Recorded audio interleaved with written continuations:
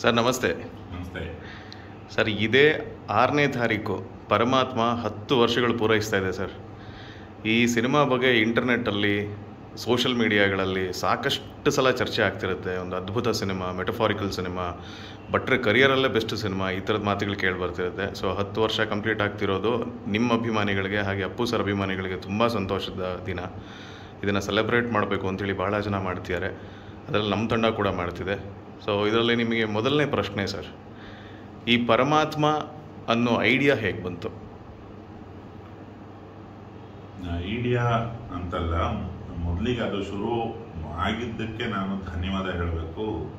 ಶ್ರೀಯುತ ಅಪ್ಪು ಸರ್ಗೆ, ರಾಘಣ್ಣ ಸರ್ಗೆ, ಮತ್ತೆ ನಿರ್ಮಾಪಕ ಶ್ರೀಯುತ ಜಯಣ್ಣ ಅವರಿಗೆ. ಜಯಣ್ಣ ಅವ್ರು ನನ್ನ ಅಪ್ರೋಚ್ ಮಾಡಿದರು. ನಿಮಗೆ ಅಪ್ಪು ಸರ್ಗೆ ಒಂದು ಸಿನಿಮಾ ಮಾಡ್ತೀರಾ ನಾನು ಈ ಚಿಕ್ಕ ಚಿಕ್ಕ ಚಿಕ್ಕ ಪುಟ್ಟದ್ರಲ್ಲೇ ಹೆಚ್ಚು ಸುಖ ಅಂದ್ಕೊಂಡು ಆ ದಿಕ್ಕಿ ಹೊರಟೋನಿಗೆ ದೊಡ್ಡ ನಾಯಕ ನಟರ ಹೆಸರು ಹೇಳಿದಾಗ ಸ್ವಲ್ಪ ಗಾಬರಿ ಆಯಿತು. ಆಗುತ್ತಾ? ಏನು ಮಾಡೋದು ಅಂತ. ಹಿಂಜರಿಕೆಯಲ್ಲೇ ಹೋಗಿ ಅಪ್ಪು ಸರ್ನ ಮೀಟ್ ಮಾಡಿ ಒಂದು ನನಗೆ ತೋಚಿದ ಲ್ಯಾಂಗ್ವೇಜಲ್ಲಿ ಒಡ ಒಡ ಒಡ ಅಂತ ಒಂದಿಷ್ಟು ಕಂಟೆಂಟ್ ಥರ ಹೇಳಿದೆ.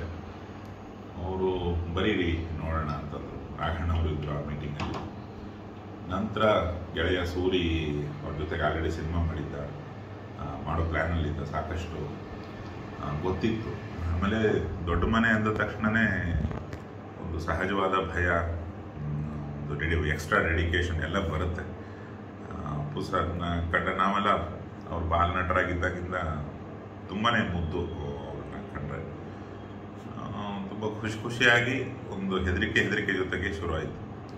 ಯಾವತ್ತೂ ಒಂದು ಸಿನಿಮಾ ಆಗಲಿ ಅಥವಾ ಯಾವುದೇ ಕೃತಿ ಆಗಲಿ ಅದು ಹೇಗೆ ಶುರುವಾಯಿತು ಅನ್ನೋದನ್ನು ವಿವರವಾಗಿ ಹೇಳೋದಕ್ಕಾಗೋದಿಲ್ಲ. ತುಂಬ ಜನರ ಶ್ರಮ, ತುಂಬ ಜನರ ಸಪೋರ್ಟಿಂದ ಶುರು ಆಗ್ತವೆ ಸಿನಿಮಾಗಳು. ಹಾಗೆ ಹಲವಾರು ಜನ ಸಪೋರ್ಟ್ ಮಾಡಿದವರಿದ್ದಾರೆ ಆ ಎಲ್ಲ ಮಹನೀಯರೇ ಮಹನೀಯರಿಂದಾಗಿ ಆ ಸಿನಿಮಾ ಆಯಿತು. ಇವತ್ತು ಅದಕ್ಕೆ ಹತ್ತು ವರ್ಷ ತುಂಬಿದೆ.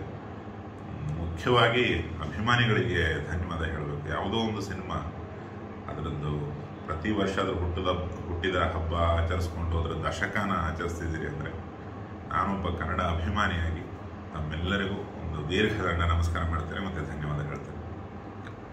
ಸರ್ ಹೆಂಗೆ ಶುರುವಾಯಿತು ಅಂತೇನೋ ಹೇಳಿದ್ರಿ. ಸೊ ಇದನ್ನೆಲ್ಲ ಒಂದು ನೀವು ಕತೆ ಒನ್ ಲೈನ್ಸು ಏನೋ ಬರ್ಕೊಂಡು ರೆಡಿ ಇಟ್ಕೊಂಡಾಗ ಇದನ್ನು ಹೋಗಿ ಅಪ್ಪು ಸರ್ಗೆ ಹೇಗೆ ಒಪ್ಸಿದ್ರಿ ಈ ಕಥೆನ ಮೊದಲು ಬೇರೆ ಒಂದು ಕಥೆ ಮಾಡ್ಕೊಂಡಿದ್ವಿ ನಮ್ಮ ಜೊತೆ ನಾವೇ ಹೊಡೆದಾಡೋದು. ನಾರ್ಮಲಿ ನಮ್ಗೆ ಯಾರು ಹೊರಗಡೆಯಿಂದ ಸಮಸ್ಯೆ ಹುಟ್ಟಾಕೋದಿಲ್ಲ ನಮ್ಮೆಲ್ಲ ಸಮಸ್ಯೆಗಳಿಗೆ ನಾವೇ ರೀಸನ್ ಆಗಿರ್ತೀವಿ.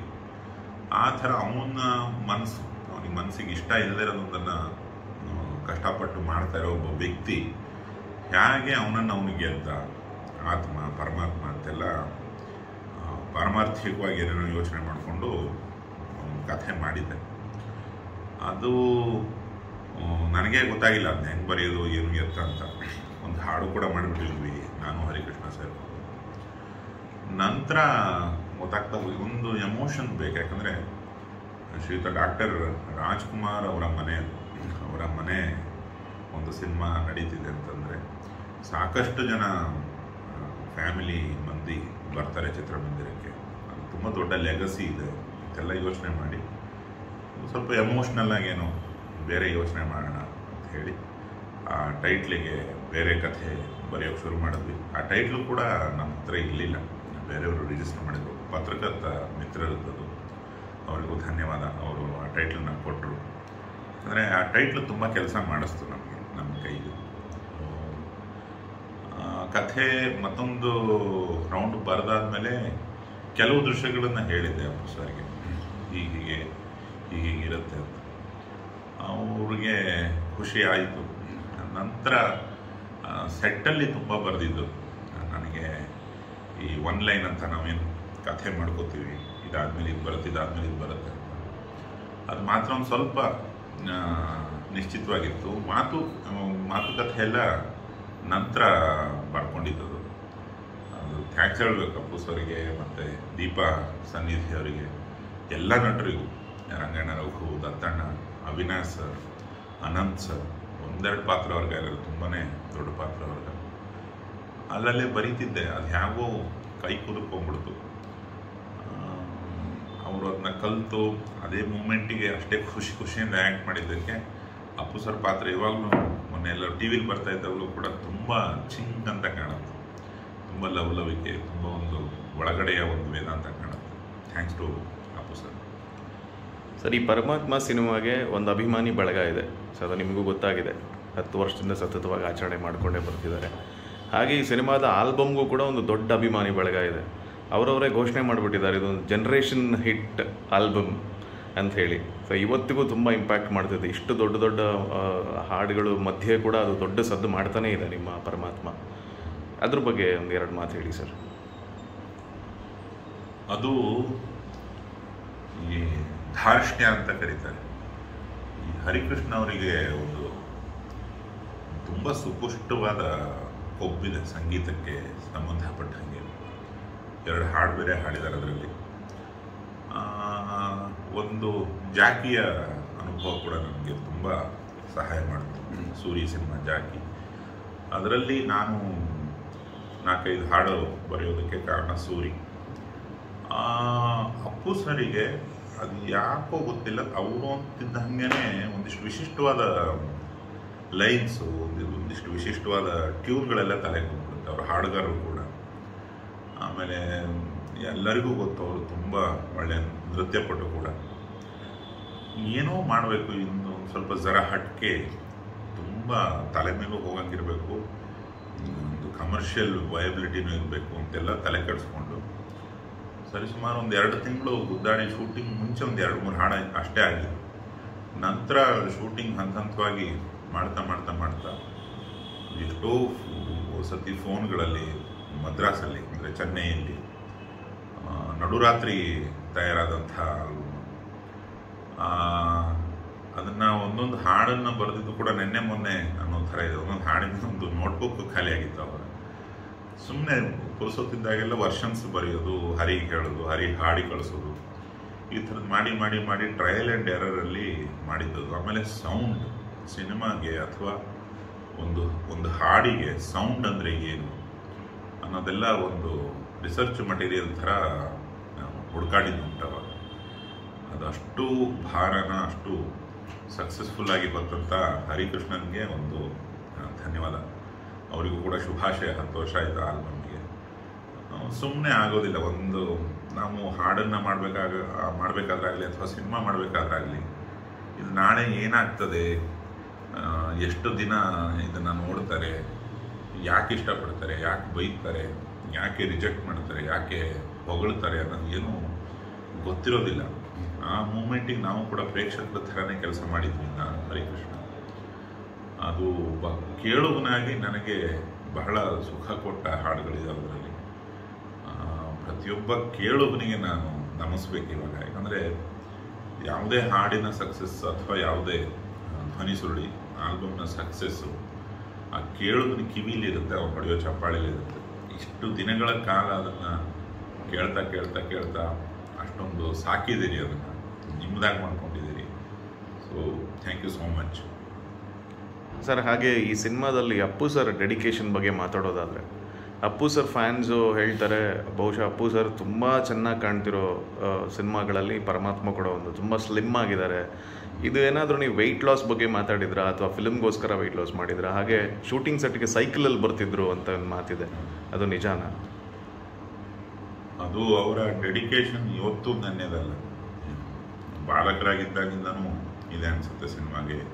ಸಂಬಂಧಪಟ್ಟ ಹಾಗೆ ಹೇಳೋದಾದ್ರೆ. ನಾನೇ ತೀರ್ಥಹಳ್ಳಿ ಸುತ್ತಮುತ್ತ ಶೂಟಿಂಗ್ ಮಾಡ್ಬೇಕಾದ್ರೆ ಬೆಳಿಗ್ಗೆ ಮೂರುವರೆಗೆದ್ದು ಸೈಕಲ್ ತೊಗೊಂಡು ಹೋಗ್ತಿದ್ದೆ. ಮೂರುವರೆಯಿಂದ ಐದು ಐದು ಗಂಟೆ, ಐದು ಗಂಟೆಗಳ ಕಾಲ ಫೈವ್ ಓ ಕ್ಲಾಕಿಗೆ ಬರೋ ಸೈಕಲ್ ಪಕ್ಕಕ್ಕೆ ಇಟ್ಟು ಮತ್ತೆ ಇನ್ನೊಂದಿಷ್ಟು ಜಿಮ್ಮು ವರ್ಕೌಟ್ ಎಲ್ಲ ಮಾಡಿ, ಅವರ ಟ್ರೈನರ್ ಹೇಳಿದ್ದನ್ನೆಲ್ಲ ಮಾಡಿ ಒಂದು ಸ್ವಲ್ಪರೇ ಸ್ವಲ್ಪ ಇಷ್ಟೇ ತಿದ್ಕೊಂಡು ಸೆಟ್ಟಿಗೆ ಬರ್ತಿದ್ವಿ ಏಳು ಏಳುವರೆ. ನಮಗೆ ಈ ಮೂರುವರೆಗೆದ್ದು ಏಳು ಗಂಟೆಗೆ ಸೆಟ್ಟಿಗೆ ಬಂದರೆ ನಿದ್ದೆ ಬರಲ್ವ ಸರ್ ಅಂತ ನಾನೇ ಕೇಳ್ತಿದ್ದೆ. ಯಾಕಂದ್ರೆ ನಾವೆಲ್ಲ ಒಂದು ಐದುವರೆಗೆ ಎದ್ದು ಬಂದ್ಬಿಡ್ತಿದ್ವಿ ಸೆಟ್ಟಿಗೆ. ಬಟ್ ಪ್ರತಿದಿನ ಮಾಡ್ತಿದ್ರು ಅದನ್ನ.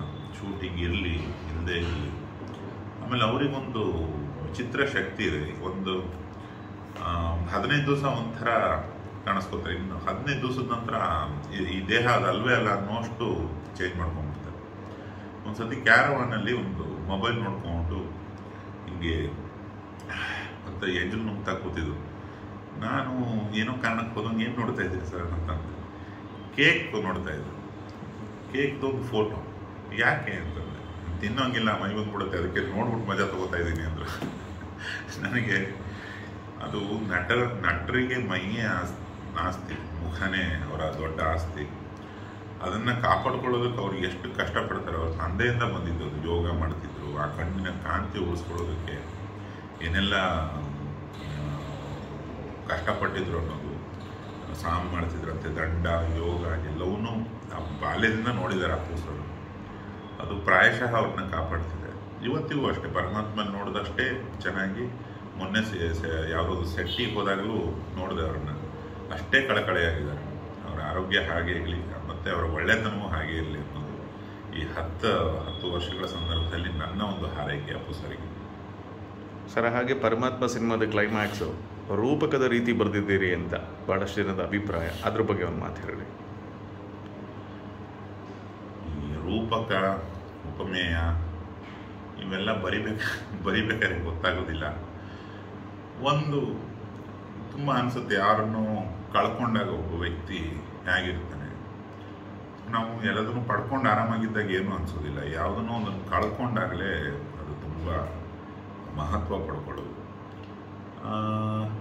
ಇಡೀ ನರೇಷನ್ ನಾನು ತುಂಬ ಕಡೆ ನಾನ್ ಲೀನಿಯರ್ ಮಾಡಿಲ್ಲ, ಅದ್ರಲ್ಲಿ ನಾನ್ ಲೀನಿಯರ್ ಪ್ರಯತ್ನ ಪಟ್ಟಿದ್ದು. ಅದು ರೂಪಕ ಅಂತಲ್ಲ, ಒಂದು ತುಂಬ ಹೊತ್ತು ಕಾಡುವಂಥ ಎಮೋಷನ್ ಇದೆ ಅದು ಅದು ಚಿತ್ರಮಂದಿರದಲ್ಲಿ ನೋಡಿದವ್ರಿಗೆ ಗೊತ್ತಾಯ್ತು ಇಲ್ಲ ನನಗೆ ಗೊತ್ತಾಗಿಲ್ಲ. ತೀರಾ ವೈಯಕ್ತಿಕ ಮಟ್ಟದಲ್ಲಿ ಲ್ಯಾಪ್ಟಾಪಲ್ಲೋ ಇನ್ನೆಲ್ಲ ನೋಡ್ತಿದ್ದೀರಿ ಇವಾಗ ಸಿನಿಮಾನ. ಅದು ನಿಧಾನಕ್ಕೆ ಆವರಿಸ್ಕೊಳುತ್ತಾ ಹೋಗುತ್ತೆ ಬಿಗಿನಿಂಗಲ್ಲಿ ಏನಾಗ್ತಿದೆ ಏನಾಗ್ತಿದೆ ಅನ್ಸುತ್ತೆ, ಆಮೇಲೆ ಆಮೇಲೆ ಆಮೇಲೆ ಆವರಿಸ್ಕೊಂಡ್ಬಿಡುತ್ತೆ. ಆ ಅನುಭವ ಬಹಳ ಜನ ಹಂಚ್ಕೊಂಡಿದ್ದಾರೆ ನನ್ನ ಅದು ಬರಿಬೇಕಾದ್ರಾಗಲಿ, ತೆಗಿಬೇಕಾದ್ರಾಗಲಿ ನಮಗೊಂದು ಚಿಕ್ಕ ಮಟ್ಟದಲ್ಲಿ ಗೊತ್ತಿರುತ್ತೆ. ಮೋಸ್ಟ್ಲಿ ಹಿಂಗೆಲ್ಲೋ ಕನೆಕ್ಟ್ ಆಗುತ್ತೆ ನೋಡೋರಿಗೆ ಅಂತ. ಒಟ್ಟು ತುಂಬ ದೊಡ್ಡ ಲೆವೆಲಿಗೆ ಕನೆಕ್ಟ್ ಆದ ಎಮೋಷನ್ ಒಬ್ಬ ಕಳ್ಕೊಂಡವನೋ ಒಬ್ಬ ಗೃಹಸ್ಥನೋ ಇದೆ. ಒಬ್ಬ ಅಚೀವ್ ಮಾಡೋಕ್ಕೆ ಹೋದವನ ಸಂಕಟಗಳಿದೆ. ಕೊನೆಯದಾಗಿ ಆತ ಮಹನೀಯ ಆಗ್ತಾನೆ. ಅವನ ಆತನನ್ನು ಪ್ರೀತಿಸೋ ಇನ್ನೊಬ್ಬ ಹುಡುಗಿಗೆ ಅವನ ಕಥೆ ಹೇಳೋದು ಮುಖಾಂತರ ಅವನೆಲ್ಲ ಎಮೋಷನ್ಸು ಆಚೆ ಬರ್ತಿರುತ್ತೆ. ಸೊ ಅದು ಗೊತ್ತಿಲ್ಲ, ಅಷ್ಟು ದೊಡ್ಡ ನಾಯಕ ನಟರು ಪೂಸರ್ ಸರ್. ಅವಾಗಿನ ಕಾಲಕ್ಕೆ ಅದು ಎಕ್ಸ್ಪೆರಿಮೆಂಟ್ ಅಂತ ಅನ್ಸ್ಕೊಳ್ತೋ ಏನೋ ಗೊತ್ತಿಲ್ಲ ತುಂಬ ನಮ್ಗೆ ತೋಚದಂಗೆ ತುಂಬ ಇನ್ನಸೆಂಟ್ ಆಗಿ ಏನೇನು ಬರುತ್ತೋ ತಲೆಗೆ ಅದನ್ನೆಲ್ಲ ಪೇಪರಿಗೆ ಹಾಕ್ಕೊಂಡು ಚಿತ್ರೀಕರಣ ಮಾಡಿ ಡಬ್ಬಿಂಗ್ ಮಾಡಿದ ಸಿನಿಮಾ. ಸುಮಾರು ಚಿಕ್ಕ ಚಿಕ್ಕ ಡೀಟೇಲ್ ರೂಪಕದ ಥರನೋ ಅಥವಾ ಸಿಮಿಲಿ ಅಂತ ಕರಿತೀವಿ. ಯಾವ್ಯಾವುದೋ ರೀತಿ ವರ್ಕ್ ಆಗ್ತಿರುತ್ತೆ. ಅವು ವರ್ಕು ಆ ಟೈಮಿಗೆ ಆಗಬೇಕಿತ್ತು ರಿಲೀಸ್ ಟೈಮಿಗೆ ಈ ಹತ್ತು ವರ್ಷಗಳಲ್ಲಿ ತುಂಬ ಡೀಟೇಲ್ಗಳು ಬೇರೆ ಬೇರೆ ಥರ ಕನೆಕ್ಟ್ ಆಗಿದೆ ಜನಕ್ಕೆ. ಸೊ ಯಾವತ್ತೂ ನಾವು ಜನರಿಗೆ ಲಾಯಲ್ ಆಗಿರಬೇಕು. ನಾವು ಎಲ್ಲೋ ಒಂದು ಹೇಳೋ ಒಂದು ಹುಟ್ಟು ಜೋಕು ಕೆಟ್ಟ ಜೋಕು ಎಲ್ಲೋ ಬರೆದ ಎರಡು ಸಾಲು ಎಲ್ಲೋ ಬರೆದ ಒಂದು ಪಾತ್ರ. ಎಷ್ಟೋ ವರ್ಷಗಳ ನಂತರನೂ ಅದು ಕನೆಕ್ಟ್ ಆಗ್ತಾನೇ ಹೋಗುತ್ತೆ, ನಮ್ಗೆ ಗೊತ್ತಿರೋದಿಲ್ಲ. ಅದೇ ಕ್ರಿಯೇಟಿವಿಟಿಯ ಜಾದೂನೋ ಏನೋ ಗೊತ್ತಿಲ್ಲ. ಅದನ್ನು ತಾವು ಕೊಟ್ಟ ಪ್ರಸಾದ ಜನತೆ ಕೊಟ್ಟ ಅಭಿಮಾನ ಅದು, ಆ- ಸಿನಿಮಾದ ಮೇಲೆ. ನಾವು ತಗೋಬೇಕಷ್ಟೆ. ಸರ್, ಒಟ್ಟಾರೆಯಾಗಿ ಪರಮಾತ್ಮ ಸಿನಿಮಾದ ಶೂಟಿಂಗ್ ಎಕ್ಸ್ಪೀರಿಯನ್ಸ್ ಹೇಗಿತ್ತು? ತಮಾಷೆ ಸಂದರ್ಭಗಳು ಏನಾದರೂ ನೆನೆಸ್ಕೊಳ್ಳೋದಾದರೆ.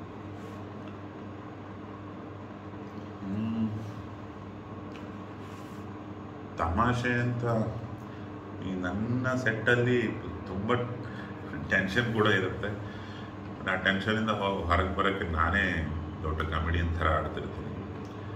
ಸುಮಾರು ಕಡೆ ಕ್ವಾಲಿಟಿ ಜೋಕ್ಸು ಹೊಡ್ಕೊಂಡು ಓಡಾಡ್ತೇವೆ ಓಡಾಡ್ತಿರ್ತೀವಿ. ಒಂದು ಸತಿ ಪಿ ಜೆ ಅಂತ ಕರೀತಾರೆ ಪೂರ್ ಜೋಕ್ ಅದು ಬರುತ್ತೆ. ತುಂಬ ನಗ್ತಾ ನಗ್ತಾ ಶೂಟಿಂಗ್ ಮಾಡಿದ್ವಿ. ಯಾಕಂದ್ರೆ, ತುಂಬ ಶೆಡ್ಯೂಲ್ಗಳಾಯಿತು ಆ ಸಿನಿಮಾ ಹಲವಾರು ಕಾರಣಗಳಿಗೆ ಅದು ಟೆನ್ಷನ್ ಕ್ರಿಯೇಟ್ ಆಗ್ತಿತ್ತು ರಿಲೀಸ್ ಆಗ್ತಿತ್ತು. ಈ ಹಾಡುಗಳು ಚಿತ್ರೀಕರಣ ಅಂತೂ ತುಂಬ ಮಜಾ ಮಾಡ್ತಿದ್ವಿ. ಅಪ್ಪು ಸರ್ ಅಪ್ಪು ಸರ್ನ ನೋಡೋದೇ ಒಂದು ಖುಷಿ. ಸೆಟ್ಟಲ್ಲಿ ಸಡನ್ನಾಗಿ ಬಾಲಕರು ಅನಿಸ್ಬಿಡ್ತಾರೆ ಅದೊಂದು ಕ್ವಾಲಿಟಿ ಅವರಿಗೆ. ಹಾಗಾಗಿ ಹೋಗಿ ನನ್ನ ಅಪ್ಪು ಸರ್ ಮತ್ತೆ ತುಂಬ ಜೋಕ್ಗಳು ಡೆಲಿವರಿ ಆಗ್ತಾ ಇತ್ತು. ಹಲವಾರು ಇನ್ಸಿಡೆಂಟ್ಸ್ ಇದ್ದಾವೆ ಸೆಟ್ಟಲ್ಲಿ ನಡೆದಂಥದ್ದು. ಅದನ್ನೆಲ್ಲ ಇನ್ನೊಂದ್ಸತಿ ಹೇಳ್ತೀನಿ. ಸರ್, ಕೊನೆಯದಾಗಿ, ಈ ಸಿನಿಮಾನ ತಲೆ ಮೇಲೆ ಹೊತ್ತು ಮೆರೆಸ್ತಿದ್ದಾರೆ ಎಲ್ಲ ಪ್ರೇಕ್ಷಕರು ಸತತವಾಗಿ ಹತ್ತು ವರ್ಷಗಳ ಕಾಲ ಆ್ಯಂಡ್ ಇದು ನಿರಂತರವಾಗಿ ಕೂಡ ಇರುತ್ತೆ. ಸೊ ಕನ್ನಡ ಸಿನಿ ಪ್ರೇಮಿಗಳಿಗೆ ಹಾಗೆ ಪರಮಾತ್ಮ ಸಿನಿಮಾದ ಅಭಿಮಾನಿಗಳಿಗೆ, ಅಪ್ಪು ಸರ್ ಅಭಿಮಾನಿಗಳಿಗೆ ಏನು ಹೇಳ್ತೀರಿ ಸರ್? ಅದೇ, ನಮ್ಮ ಯಾವುದೇ ಕೆಲಸನ ಡಿಸೈಡ್ ಮಾಡೋರು, ನಿರ್ಧರಿಸೋರು ಪ್ರೇಕ್ಷಕ ಮಹಾಪ್ರಭುಗಳು ಮತ್ತು ಮಹಾರಾಣಿಯರು ಅವರೆಲ್ಲರಿಗೂ ಒಂದು ನಮಿಸ್ಬೇಕಷ್ಟೇ ನಾವು. ಸದಾಕಾಲ ಅವರಿಗೆ ವಿನಮ್ರರಾಗೇ ಇರಬೇಕು, ಸದಾಕಾಲ ಅವರಿಗೆ ವಿನೀತರಾಗೇ ಇರಬೇಕು. ಯಾಕಂದರೆ ನಿಜವಾದ ನಿರ್ಮಾಪಕರು ಜನತೆ. ಅವ್ರು ಕೊಡೋ ದುಡ್ಡಲ್ಲಿ ಅಥವಾ ಅವ್ರು ಕೊಡೋ, ಅವರ ಸಹಾಯ ಹಸ್ತದಲ್ಲಿ ನಾವೆಲ್ಲ ನಡೆಯೋದಕ್ಕೆ ಸಾಧ್ಯ. ಮತ್ತು ಇನ್ನೇನು ಚಿತ್ರರಂಗ ಅಂತಂದರೆ ಅಥವಾ ಚಿತ್ರಗಳು ಅಂತಂದರೆ ಮಂದಿ ನೋಡಿದ್ರೇ ಸಿನಿಮಾ, ಇಲ್ಲಾಂದರೆ ಇಲ್ಲ. ಅದು ಚಿತ್ರಮಂದಿರದಲ್ಲಿ ಆಗಿನ ಕಾಲಕ್ಕೆ, ಪರಮಾತ್ಮ ರಿಲೀಸ್ ಆದ ಟೈಮ್ನಲ್ಲಿ ಅಷ್ಟು ಅದ್ಭುತ ರಿಸಲ್ಟ್ ಬರಲಿಲ್ಲ ನನಗೆ ಆರ್ಥಿಕವಾಗಿ. ಅದು ನನಗೆ ಮತ್ತು ಜಯಣ್ಣ ಅವರಿಗಿಬ್ಬರಿಗೆ ಗೊತ್ತಿರೋದು. ಹತ್ತು ವರ್ಷ ಆಗಿರೋದ್ರಿಂದ ಇವಾಗ ಹೇಳ್ಬೋದು ಅಂದ್ಕೋತೀನಿ ಅದರ ನಂತರದ ಅದ್ರ ಪ್ರತಿಕ್ರಿಯೆ. ಚಿತ್ರಮಂದಿರ ತಲುಪೋದೊಂದು ಅಂತ ಸಿನಿಮಾ. ಅದಾದ ಮೇಲೆ ಅದರ ಪ್ರತಿಕ್ರಿಯೆ, ಅದನ್ನು ನೋಡಿದ ನೋಡಿದ ರೀತಿ ಟಿ ವಿಯಲ್ಲಿ ಇಂಟರ್ನೆಟ್ಟಲ್ಲಿ ಎಲ್ಲ ಕಡೆ ತುಂಬ ವ್ಯಾಪಕವಾಗಿ ಜನ ಅದನ್ನ ನೋಡೋಕೆ ಶುರು ಮಾಡಿದ್ರು.